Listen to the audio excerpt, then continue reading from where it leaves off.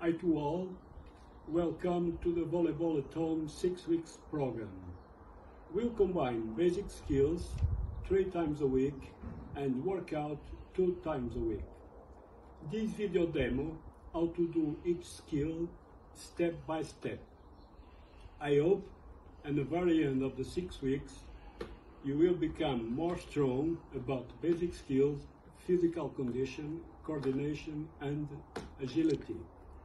This program is good for you rising the quality of your game comprehension. We'll start with a warm up. Are you ready, Luis? Yeah. We don't need the ball. Nothing.